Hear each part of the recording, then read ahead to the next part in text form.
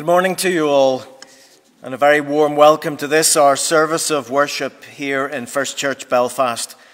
We especially welcome Sarah Richmond, who's be, who will be singing for us today, and we welcome those people who are joining with us online. Uh, just one announcement is that we will begin to sing hymns again in church starting from, from today. Now, the only caveat is that we must be seated and we must be masked while we're doing it. Other than that, uh, we can begin uh, to sing hymns once again in church. Now, I'm sure over time this will change and that we, begin to, we will be allowed to stand and sing unmasked, but at the minute, uh, these are the conditions that we must operate uh, under. We are God's people, come from many places to this dear place. We come as we are, bringing with us memories and longings, disappointments and achievements, doubt and faith. Let us offer all these to God, who is our peace and our strength. We join together in prayer. God, who is love, before time, beyond time, you are the ground of reality. Everything belongs to you. All things are intended to express love, for your whole being is love. God, who is life, on earth and beyond earth, you are the source of meaning. In darkness and death, you are a light. In doubt and despair, you are a friend. Your whole being is life.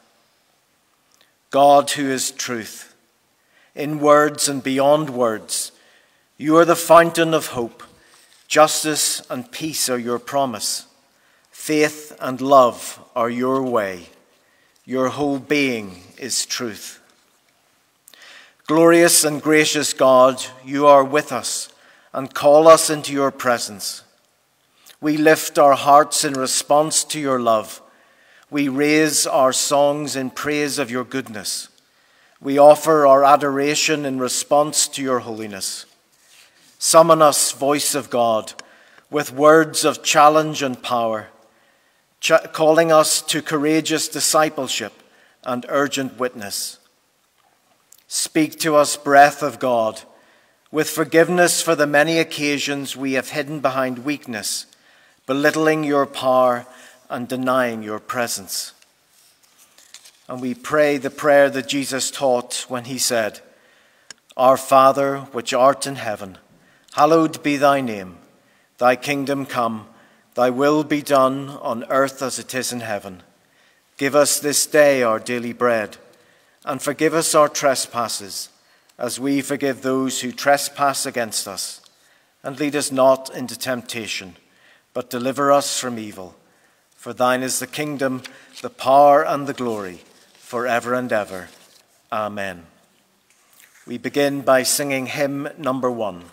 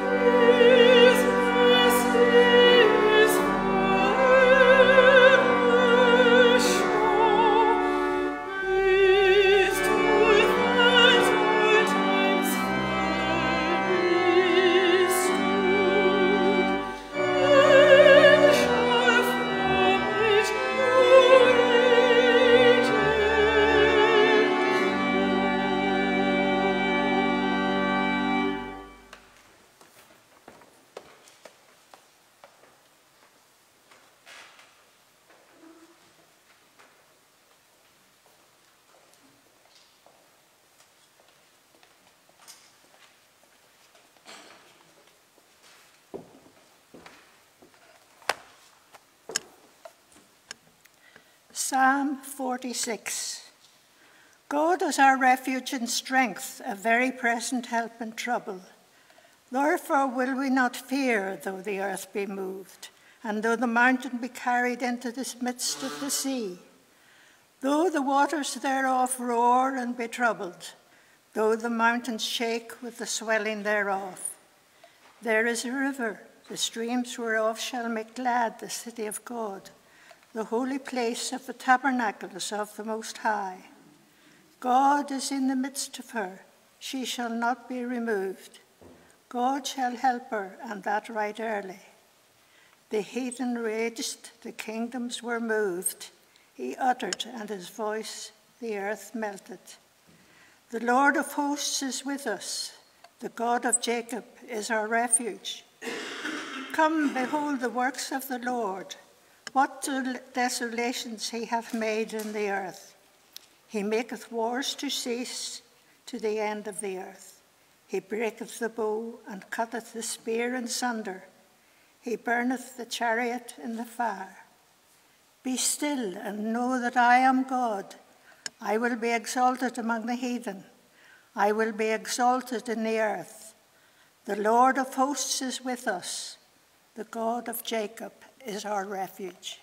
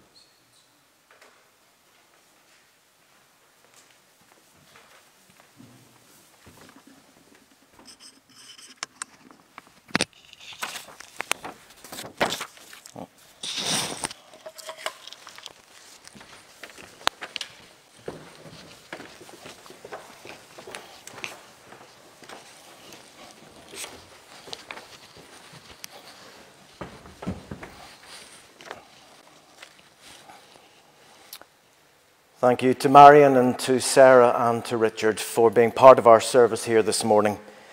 Before we have our second reading, just I forgot to announce that next week is a service of Holy Communion here in First Church. So please, if you can join with us in the church building or online, you'll be uh, very welcome indeed. Our second reading comes from John's Gospel, chapter 17, reading verses 6 to 19. I have made your name known to those whom you gave me from the world. They were yours, and you gave them to me, and they have kept your word. Now they know that everything you have given me is from you.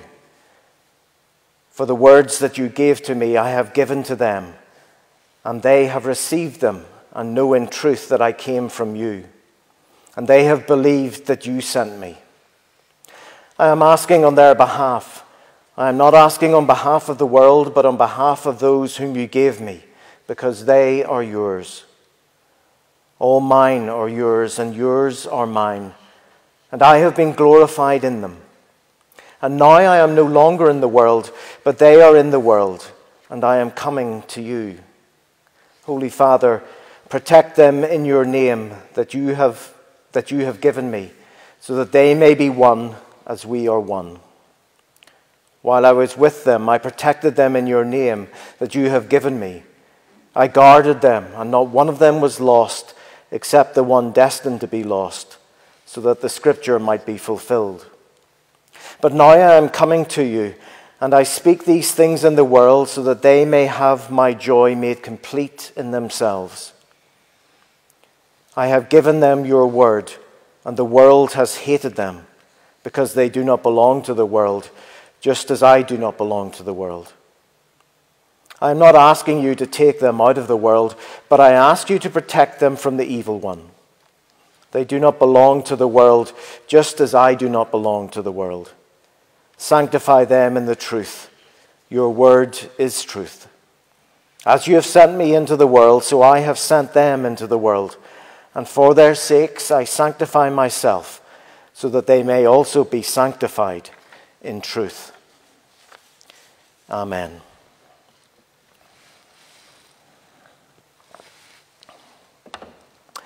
A man is praying in church. He looks up to heaven and he says, God, could you answer a question for me? Of course, my son, says God. What would you like to know? God, what is a million years to you? Well, says God, a million years to me is as a second. Hmm, says the man. I suppose I understand that. So, what is a million pounds to you then? My son, God says, a million pounds to me is as a penny. Hmm, says the man. He goes back to praying, but after a little while he looks up again. God, he asks, Can I have a penny? Absolutely, God says. Just give me a second. Prayer is a funny thing. A book that I bought years ago in a second-hand bookshop was a book of prayers written by Powell Davies, who served as minister of All Souls Church in Washington in the late 1940s and early 1950s.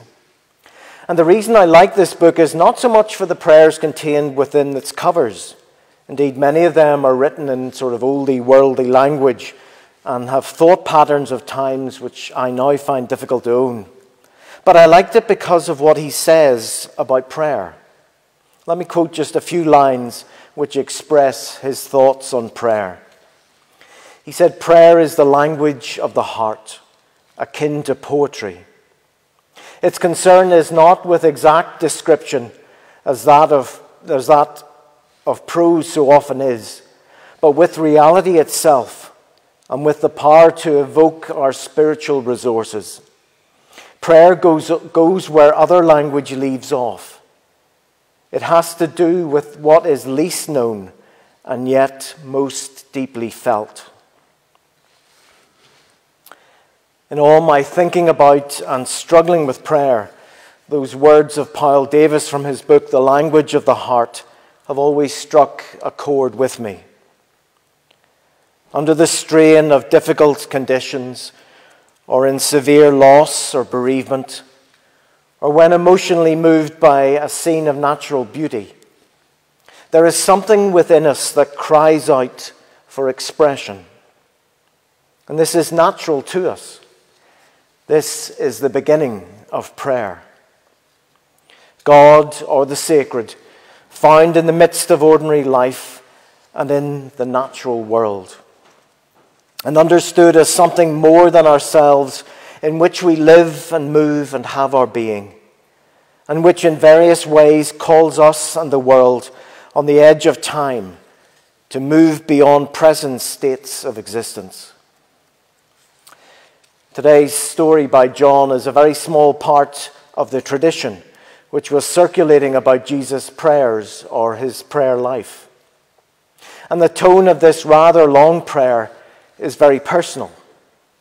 In it, he addresses God as someone whom he knows very intimately, as indeed somebody he trusts implicitly. And it is classical theism. And in this prayer, John, uh, prayer, John has Jesus weaving together the past and the present and the future. And he weaves it into a kind of timelessness, which he suggests is available for all. This particular prayer is quite different from the Lord's Prayer, which we use every week here in church, which I suppose shows that there are many different types of prayer and many different approaches to prayer. So, in spite of some advice to the contrary, there is no one way which is uh, either right or wrong. Prayer which somebody leads in church on behalf of other people is quite different from prayer, a private prayer in, in a person's house. On the other hand, prayer may be just a couple of words or even a waiting in silence. Whatever the sort of prayer you prefer, there, doesn't need, there does need to be a time for silence. The deeper you get into prayer, the more it tends to be a listening prayer rather than a speaking prayer. That silence may, uh, may be when you're outside, that silence, sorry, maybe when you're outside gardening or enjoying a sea view or looking at a picture or out for a brisk morning walk. It may also be while you're ironing or painting the shed or washing the car. Or it may be in deliberate meditation. Helder Camara, a Catholic bishop of Brazil, has become an inspirational figure for many people around the world. He died around 22 years ago, but his work of solidarity on behalf of the poor and the exploited will long be remembered. And he once wrote some words on prayer to the people of his diocese at a time when they were enduring horrific suffering. And how does he say it? He talks of putting our ear to the ground in order to hear the divine voice, to recognize that God is always by our side, even when in our agony we are silenced and unable to think at all. This is his prayer. Put your ear to the ground and listen. Hurried, worried footsteps, bitterness, rebellion. Hope hasn't yet begun. Listen again. Put out your feelers. The Lord is there. Peter Millar from the Iona community offers this perspective on Camara's prayer. He says, is this not the essence of prayer? To see the one who is always near and who is constantly inviting us in gentle compassion to come back to our inheritance as a human being made in the divine image. Another perspective on prayer, especially how it works, comes from Christine Robinson. She suggests this that prayer works on our own hearts, calming us enough to hear our own wisdom, to reroute habits and habitual responses, to help us adjust and to find good in all that we, can, we cannot change, and see the light in each person, no matter how difficult they are in our lives. Prayer works not because of a so called all powerful supernatural being who just happens to be listening, waiting for our orders. It works because our lives and our world are porous to new and creative, reimagined possibilities. As Henry Nelson Wieman said, prayer works in the recreation of the one who prays. Now, all this has been words on prayer, but words on prayer should also share in a prayer. And Paul Davies has just such a prayer, a short prayer about prayer. Indeed, a short, soft, theistic prayer which addresses the sacred or the divine in a personal way. This is his prayer. Help us, O God lest we make our prayers a substitute for what we should do with our lives. What our prayers begin, may our lives continue. I conclude my sermon with these words from Henry Nelson Wieman. He said, Religion, with wisdom born of centuries of experience, tells us the qualities of mind and heart rather than physical blessings, should be a major concern in our prayer life.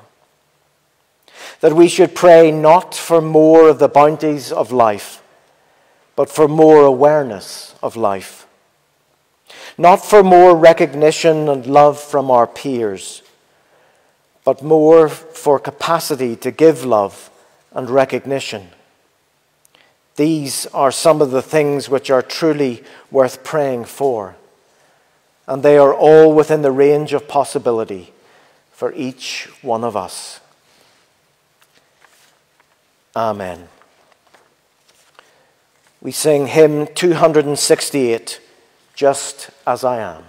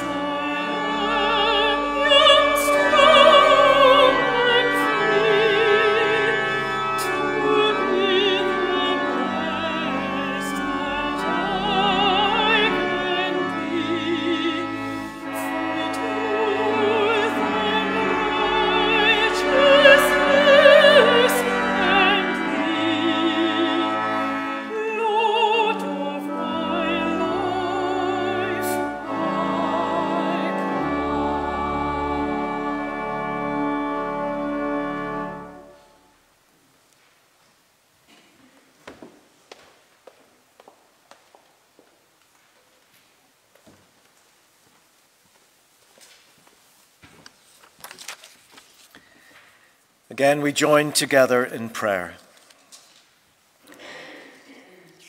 Disturb us, O God, when we are too well pleased with ourselves, when our dreams have come true because we dreamed too little, because we sailed too close to the shore. Disturb us, O God, when with the abundance of things we possess, we have lost our thirst for the water of life. When, having fallen in love with time, we have ceased to dream of eternity, and in our efforts to build a new earth, we have allowed our vision of heaven to grow dim. Stir us, O God, to dare more boldly, to venture into wider seas where storms show thy mastery where losing sight of land, we shall find the stars.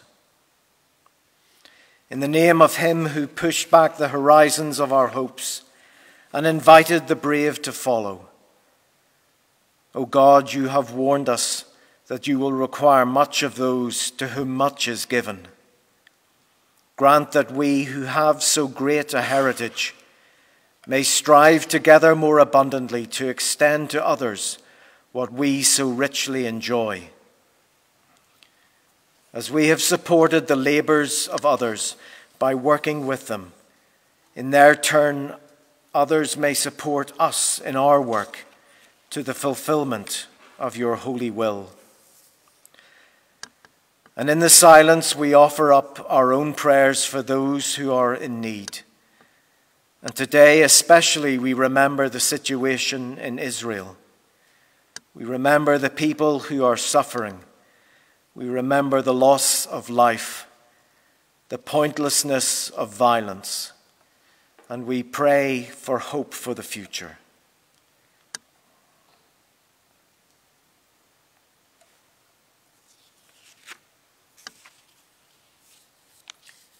O God, hear these our prayers. Amen. Our final hymn this morning is number 326 Guide me, O thou great Jehovah.